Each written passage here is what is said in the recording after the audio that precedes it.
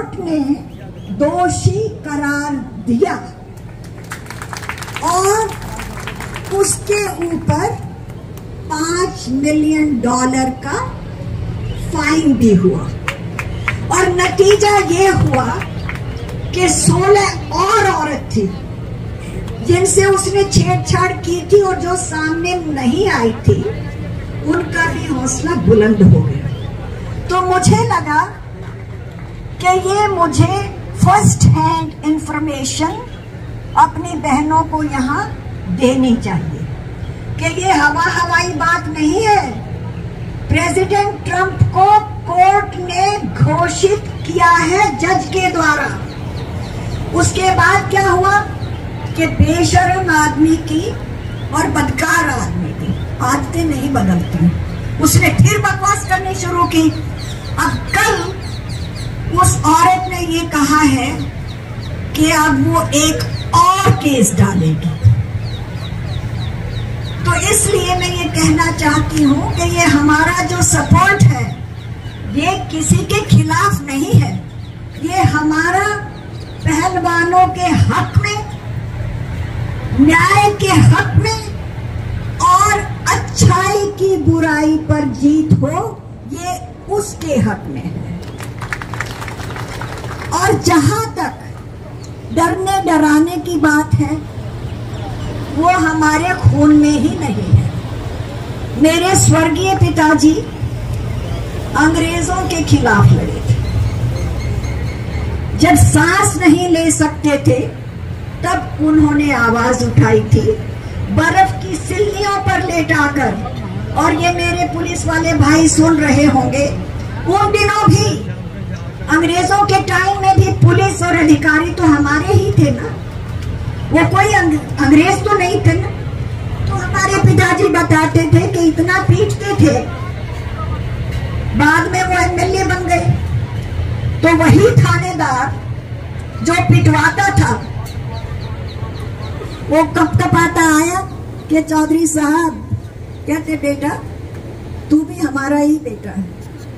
तू वो कर रहा था जो तुझसे हाकिम करवा रहा था। तेरे खिलाफ मेरे मन में कोई भी बुरी भावना नहीं है।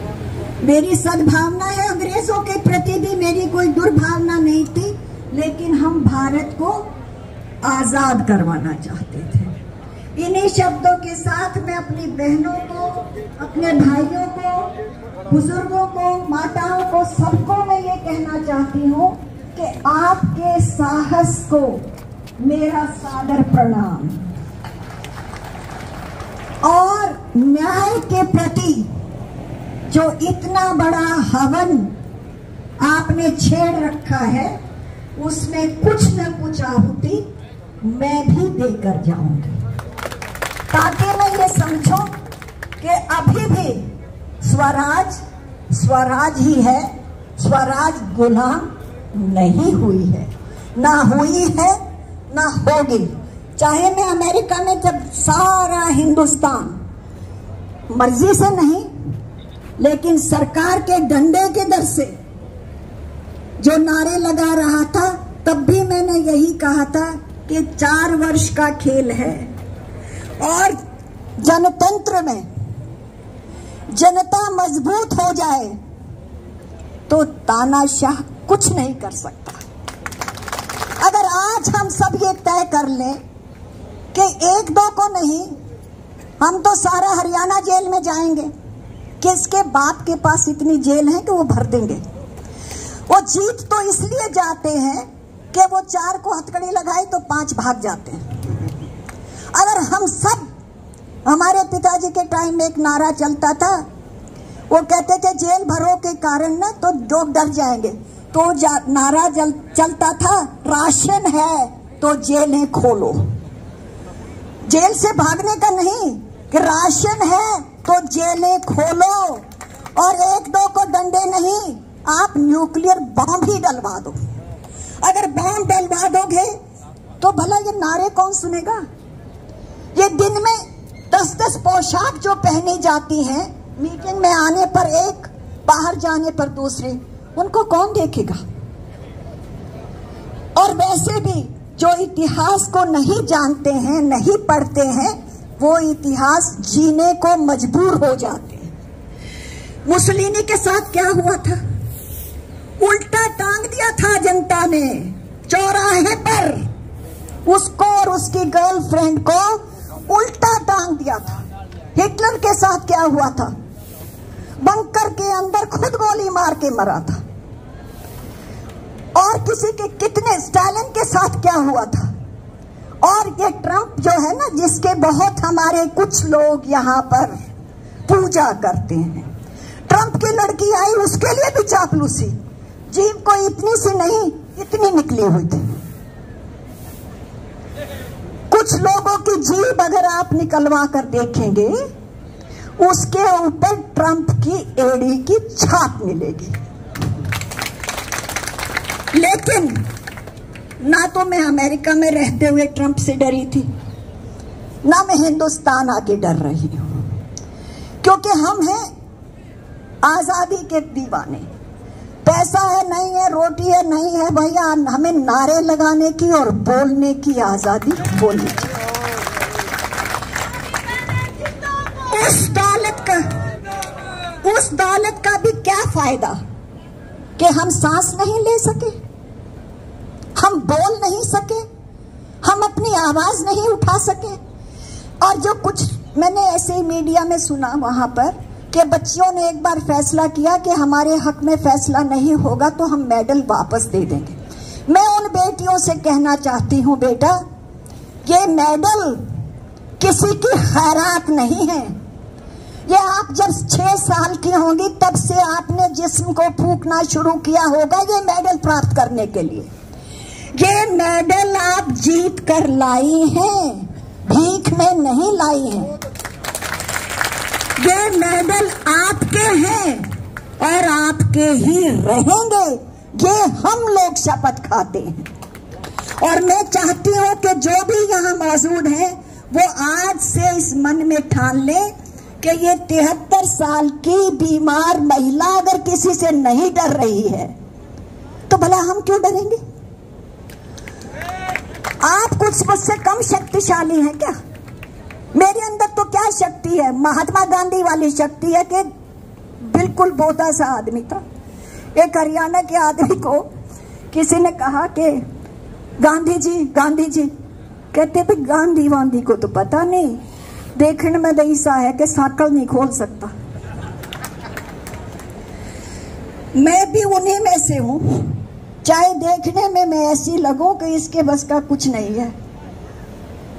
लेकिन आत्मा और आत्मा की शक्ति इतनी है कि बड़े बड़े तानाशाहों की कुर्सियाँ हिला डालती इसी शब्दों के साथ मैं आपको, आपने मुझे अपने शब्द व्यक्त करने का अवसर दिया, उसके लिए बहुत बहुत आभारी हूँ। और मैं चाहती थी कि अगर वो बहनें यहाँ हों वो जो पहलवान लड़कियाँ हैं तो एक बार उनको यहाँ बुला के उनकी हौसला अफजाई सबके सामने कर देते। अगर है अगर वो व्यस्त ना हो बुलाओ जी।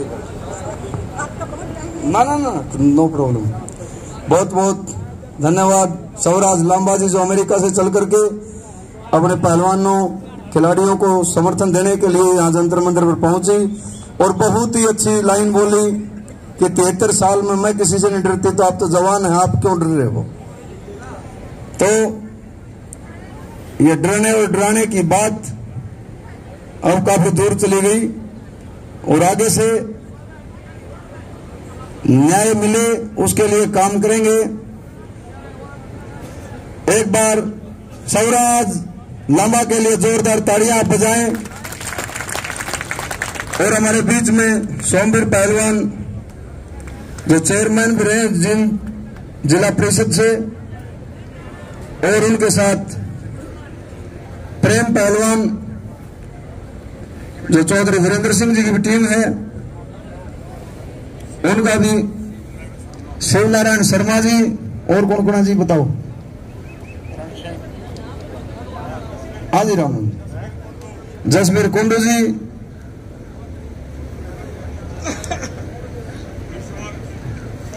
ईश्वर शर्मा जी, संदीप खरब जी, अजीत सिंह जी, जो पूरी की पूरी टीम है और लगातार जो है ना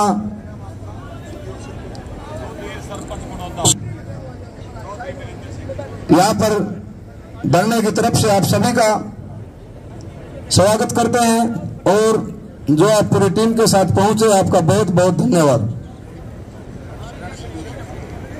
बोलोगे जी। बोल लियो आ जाओ। एक सेकंड आ जाओ आ जाओ। इसी साइड आ जाओ आप आ जाओ। आप आओ आओ। आप आओ जी। आ रही आ रही।